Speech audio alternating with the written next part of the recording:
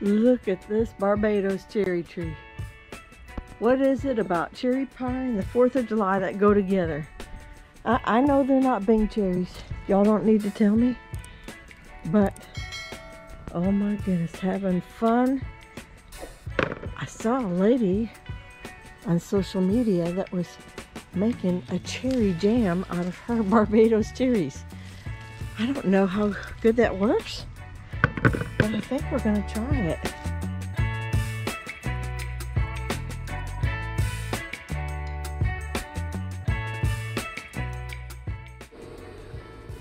There we go, look at them all. I don't know, maybe a pound, two pounds?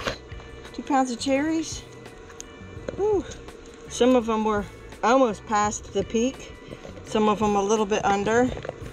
But uh, I think we did okay. We might be able to get a jar or two worth of jelly out of it. Or jam, whatever it calls for. I gotta go look up the recipe. Oh.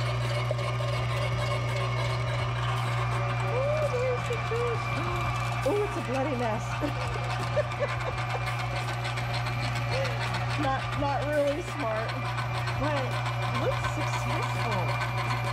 It, I like this. Look at the juice flowing.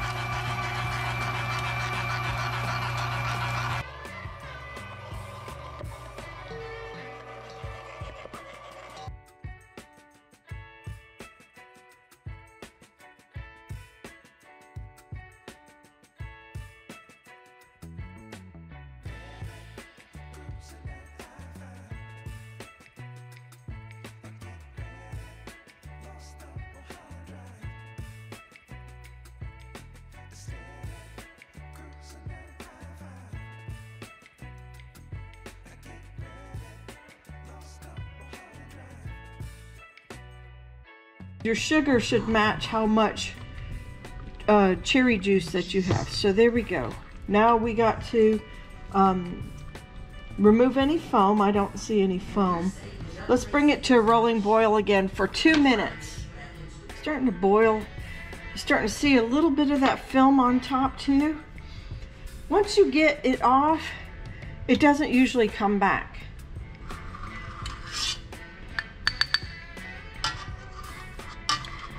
Strawberries also do this. All, just about all your fruit will do foam. Your tomatoes will do a foam as well. If you ever make homemade tomato sauce. So you can just kind of pull it over to the side and then get it scooped up the best you can. Yeah, okay, so definitely we're starting our timer now for the two minutes of bubbling.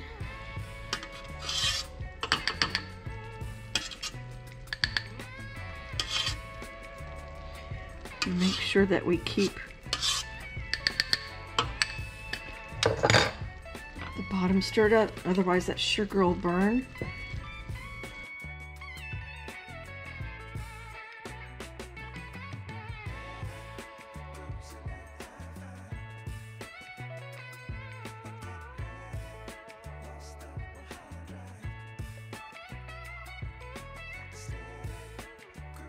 The heat's off. Let's take that off the eye. Maybe I'll prepare for just a few extras. I'll pop them in as close as I can together and put these liquid, I mean, put these lids in the hot water just to boil them, warm them, whatever I gotta do with them. Okay, now we're gonna get rid of, ready for our jam. Fill to a quarter inch off the top, run a knife or thin spatula down the side to make sure the air bubbles are removed. Wipe the rims of the jar with a moist towel, or I use white vinegar to remove food residue. Top the lids, screw on the rings, and then we'll, we got our water bath about to start. Well, it is starting.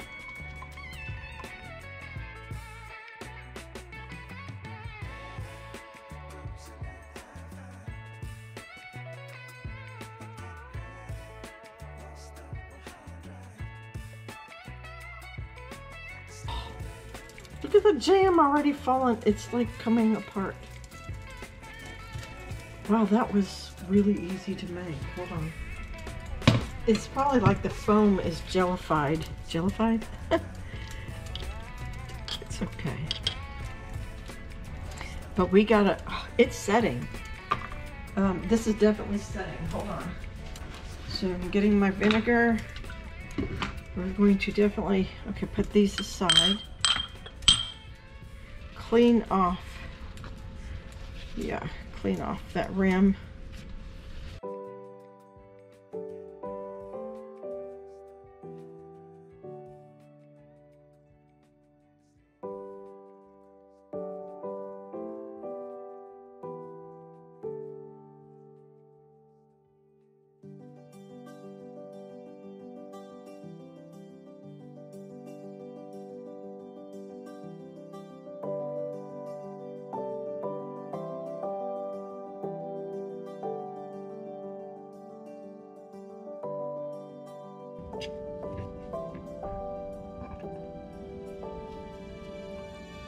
Mmm.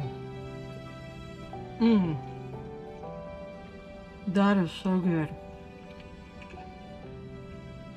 Tastes like any other cherry to me. Mmm.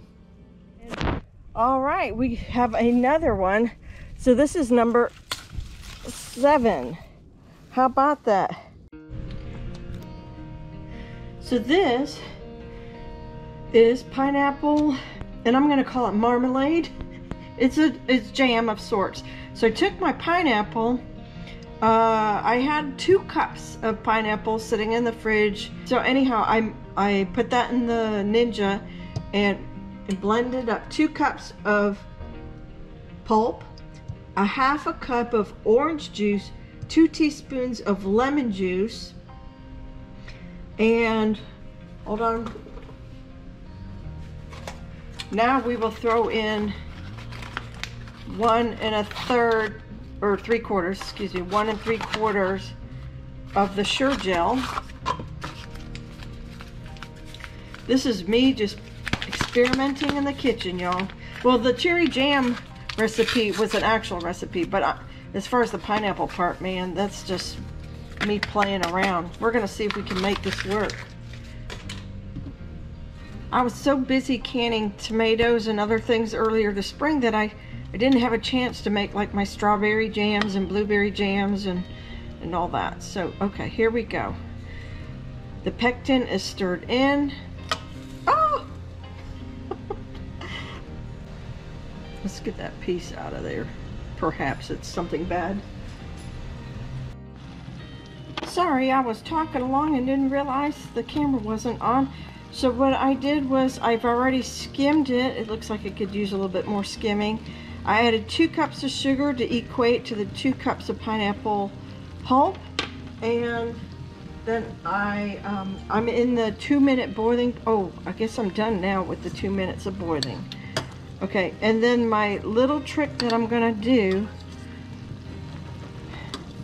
hold on, let me get that off, is I'm going to add some of them to be, plain pineapple marmalade. Let me turn that heat off now that we're at two minutes.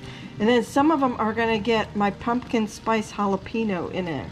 I thought my son may really get a kick out of that. Okay, so let's back up the camera. Okay, in this back row, we're gonna add a little bit of our pumpkin spice jalapeno right there. At the bottom, so it should be easy to distinguish the jars, but I'm also gonna label them. Be certain to label your jars, everybody.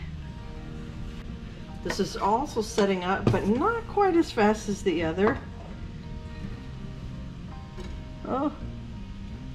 Okay, let's just go for it. I'm making a mess on my counter. Whoops, supposed to be a quarter cup. That might be a little high there.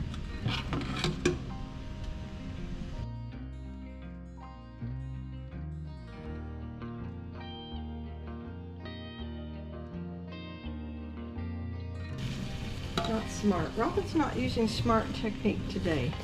And I forgot to debubble earlier, although I doubt, I highly, highly doubt there's any air bubbles in these. I'll just show the technique though. You would run it around, try to get the air bubbles out.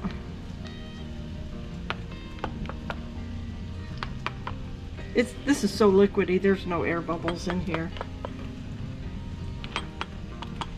Okay, so that yielded six quarter pints. Let's get some cleaning of the rims and wrap this puppy up.